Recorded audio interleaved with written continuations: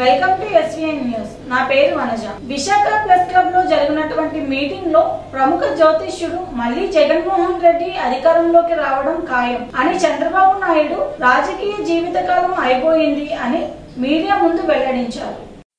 GO తప్పని చెప్తే పంతొమ్మిదిలో అధికారంలోకి వచ్చారు జగన్మోహన్ రెడ్డి గారు జూన్లో.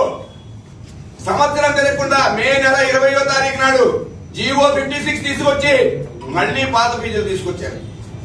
ఈ రోజున మళ్ళీ పన్నెండు లక్షల రూపాయలు. A category?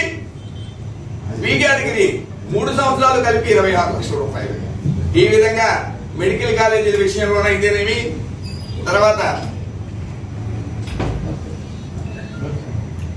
మెడికల్ కాలేజీల విషయంలో ఈ విధంగా చేసుకుని వచ్చారు. అమ్మఒడి పథకం ద్వారా తీసుకొచ్చారు. చంద్రబాబు నాయుడు అవినీతి గురించి మేము మాట్లాడదలుచుకోలేదు. మా నీతి గురించి మేము మాట్లాడదలుచుకున్నాం. మాకు జరిగినటువంటి లాభాలు బ్రాహ్మణ సమాజం మళ్ళీ గుర్తుపెట్టుకోవాలి. ఈ ఫేక్ వీడియోలు నమ్మకండి. మళ్ళీ జగన్మోహన్ రెడ్డి గారు నేను ఒక ఎస్ట్రాలజీగా చెబుతున్నాను నూట యాభై ఎనిమిది సీట్ల నుంచి నూట అరవై ఎనిమిది సీట్లలో గెలవబోతున్నారు.